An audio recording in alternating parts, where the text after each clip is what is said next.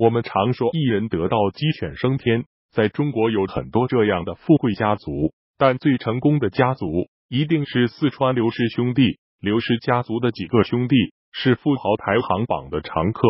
四兄弟用当年一起创业的一千元奋斗，三十年后缔造万亿资产。今天我们聊聊这个传奇的家族。刘氏家族有四兄弟：大哥刘永言，老二刘永行，老三刘永伟，老四刘永好。四兄弟名字连起来就是言行美好。注：由于当时家庭生活困难，老三刘永美被过继到陈姓人家，故改名为陈玉新。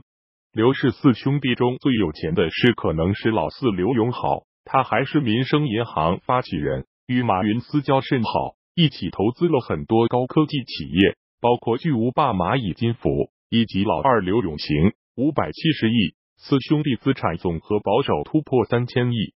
一九八二年，刘氏四兄弟凑齐了一千元人民币，创建希望集团，开始了艰难的创业历程。经过发展壮大。希望集团曾被工商局评为中国最大私营企业，成为中国民营企业的一面旗帜。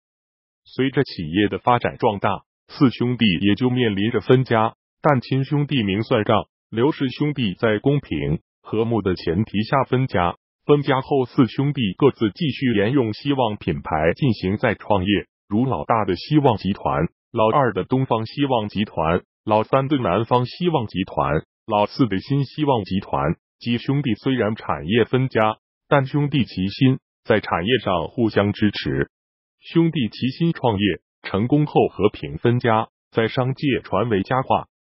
刘氏四兄弟的产业遍布饲料、旅店、金融、投资、房地产等等。分家后的刘氏四兄弟都曾上过富豪榜，其中老二刘永行和老四刘永好。都曾当过中国首富。二零零一年，刘永好以八十二亿成为中国大陆首富。二零零八年，刘永行以二百零四亿成为中国首富。这样的情况在中国是绝无仅有的。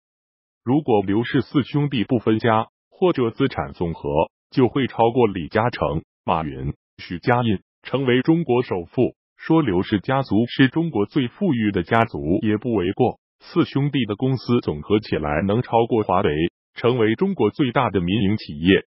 四兄弟全部飞黄腾达，这种情况实属罕见。是刘氏父母对孩子教导有方，还是其祖上显灵呢？